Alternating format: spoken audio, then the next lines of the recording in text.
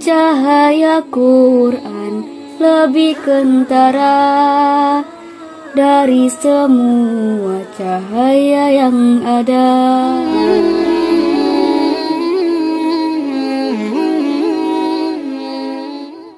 Bismillahirrahmanirrahim.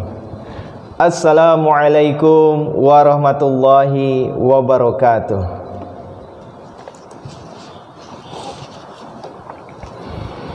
A'udzu billahi minasy syaithanir rajim.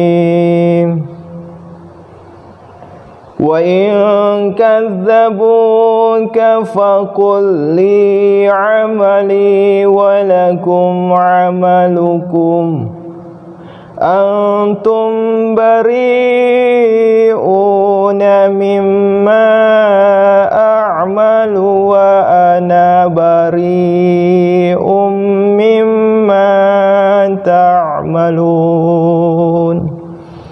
Aku berlindung kepada Allah dari godaan syaitan yang terkutuk. Dan jika mereka mendustakan engkau, maka katakanlah bagiku amalanku dan bagimu amalanmu. Kamu tidak bertanggung jawab terhadap apa yang aku kerjakan dan aku tidak bertanggung jawab terhadap apa yang kamu kerjakan. Wa minhum yastami'una ilaik? Afa anta tusmi'u summa walau kanu la ya'qilun.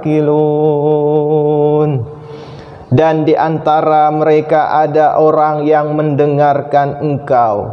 Tetapi dapatkah engkau membuat orang-orang tuli mendengar walaupun mereka tidak mau mempergunakan akal. Wa minhum may yanzuru ilaik afa anta tahdil umya walau kanu la yubsirun dan di antara mereka ada orang yang memandang kepada engkau tetapi dapatkah engkau memberi petunjuk kepada orang-orang buta walaupun mereka tidak melihat? Tafsir nomor 1263. Orang-orang kafir tidak memiliki pengertian dan daya pengamatan dalam ayat sebelum ini selain mereka disebut sebagai mahrum dari daya mendengar juga sebagai kosong dari pengertian. Dan dalam ayat ini mereka itu disebut buta dan juga hampa dari daya pengamatan. Inna Allah la yazlimun nasa syai'an walakinna nasa anfusahum yazlimun. Sesungguhnya Allah tidak berbuat aniaya terhadap manusia sedikit pun. Akan tetapi manusia itulah yang berbuat aniaya terhadap dirinya sendiri.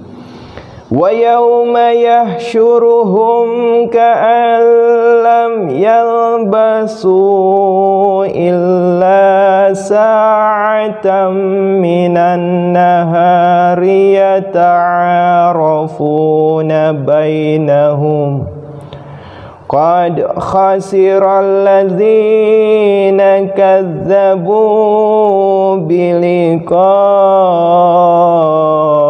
الله وما كانوا مهتدين Dan ingatlah pada hari dia akan mengumpulkan mereka akan nampak kepada mereka seolah-olah mereka tidak pernah tinggal di dunia kecuali sesaat saja di siang hari. Mereka akan mengenal satu sama lain. Sungguh merugilah orang-orang yang mendustakan pertemuan dengan Allah dan mereka tidak akan mendapat petunjuk.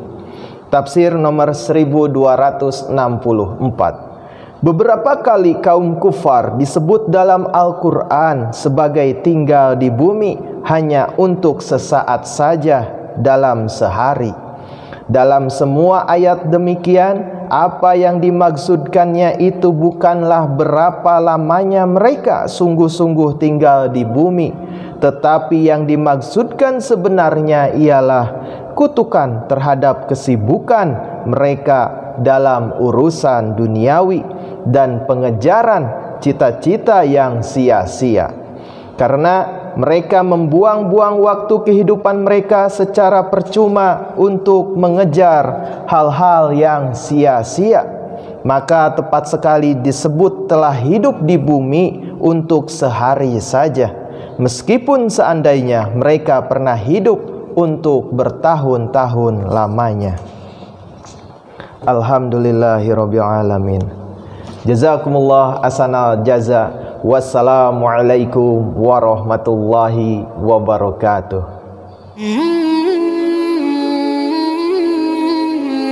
Cahaya Quran lebih kentara dari semua cahaya yang ada.